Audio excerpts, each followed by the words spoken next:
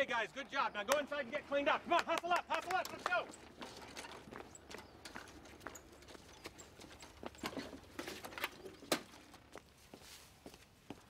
right, let's set up over here, guys.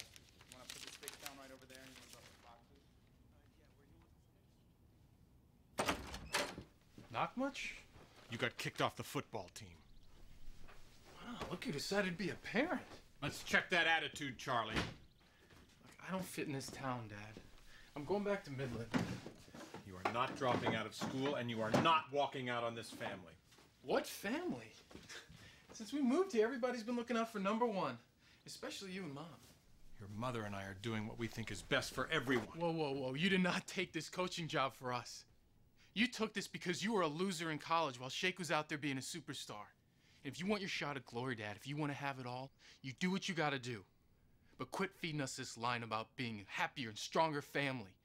This move was about you. And you know what?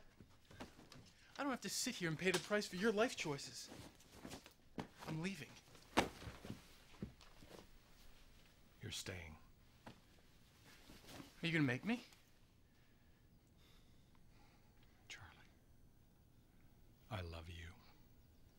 I want you to have the best life you can have. And that means you are getting a diploma.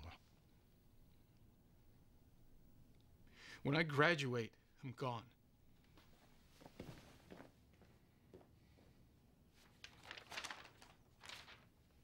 Hey, Charlie, am I looking okay for national TV? You know, you turned into a jerk when we moved here. Everybody turned into a jerk when we moved here.